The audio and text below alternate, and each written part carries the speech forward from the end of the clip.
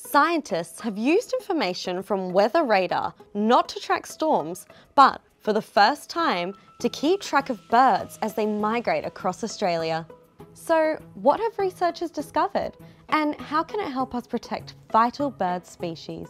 I collaborated with folks from the Bureau of Meteorology. We gathered like millions of scans of radar images from them.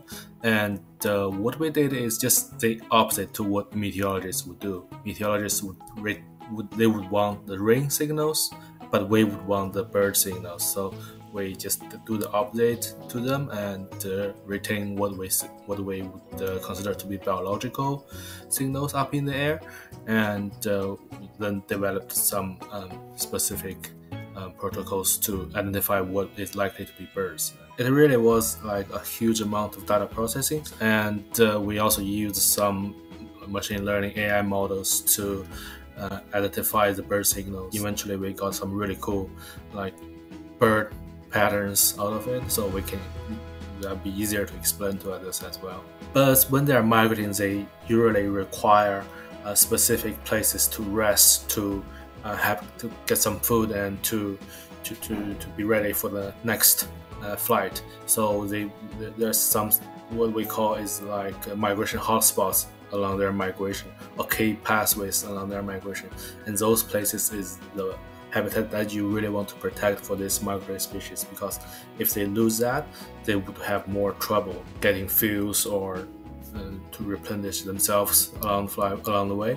So that's something radar can do really well is identify where the birds are concentrating and where they are taking off, where they are landing. So we, we will be able to identify those key places that would be needed to protect the migratory birds. It is quite new to bird migration research in Australia, but it has been applied elsewhere, like in the in the US or in Europe. So we thought, why not try, why not do this the same thing in Australia? We have the infrastructure, we have like a, a huge network of weather radar all over Australia, and all we have to do is just look into the data. And um, yeah, I'm, I'm glad that we, we, we did this and uh, found out a lot of new stuff about bird migration in Australia.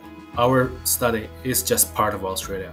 Really, what we did is we look at the bird migration on the east coast, and there's more than half of Australia that we do not yet know how the birds are moving, like uh, in, in, Western Australia or in the central in, in, inland regions. So yeah, there truly is a lot that we can that is unknown right now, and uh, what we did is just the, one of the very first steps to study bird migration in Australia. And hopefully, there will be more people and more research dedicated to this uh, phenomenon in the future.